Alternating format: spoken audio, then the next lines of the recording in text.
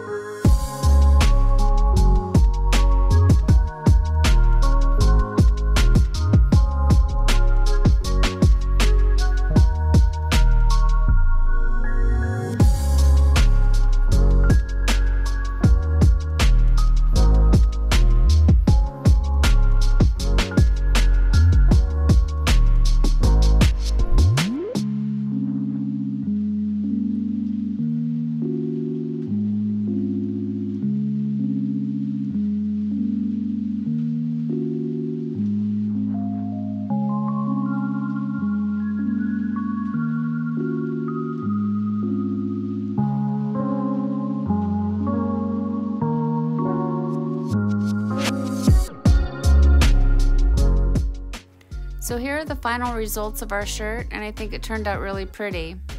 I like the way the dark brown and the jade green contrast against each other. I probably could have added a lot more dye and had less white space, but I don't mind the white space. It sort of makes the colors pop. Overall, I'm really pleased with this shirt.